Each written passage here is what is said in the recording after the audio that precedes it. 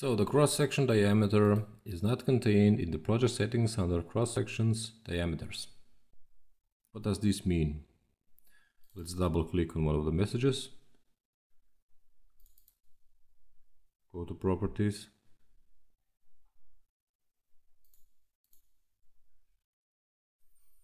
This means that we have a space over here, which was really difficult to see but seems like this is the solution to this one. Uh, generally let's say for this one as a more standard value so 0.8 is in the project under the under this list. So Eplan is not generating a message for this particular connection definition point and you can set this under options and then settings and inside your project and then cross sections diameters and you can add various other cross sections. Let's do that and let's say the next one would be 70 square millimeters. And of course you can set the unit to different values and we're gonna say as in project and apply and OK. Let's go to this one one more time. And now we're gonna see that we have also the 70 inside our project. But the message generated for this particular, for the shield of the cable is because we have a space over here and this is causing a problem.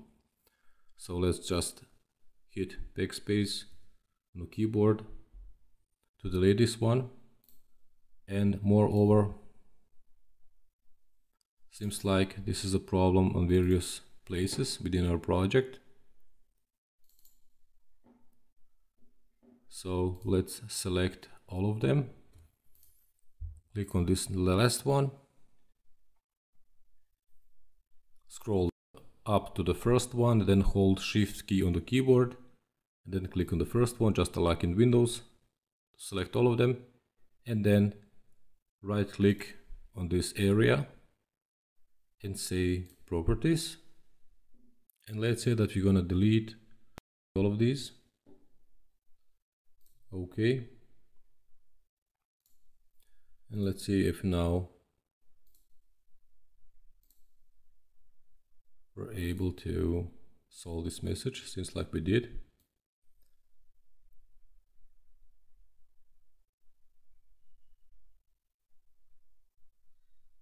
message is gone.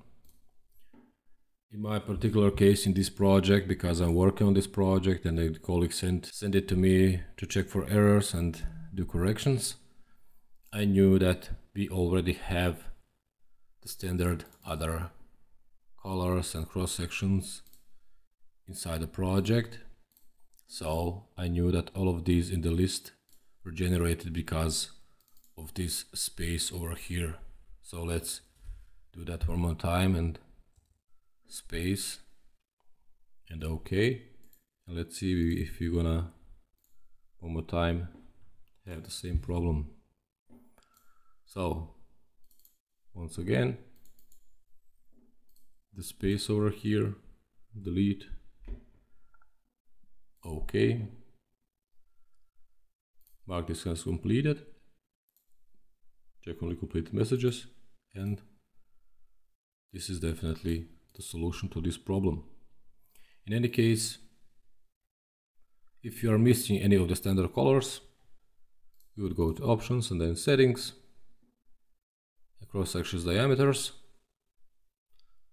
for this, or if you miss some colors, you would go and add a color. And that's it.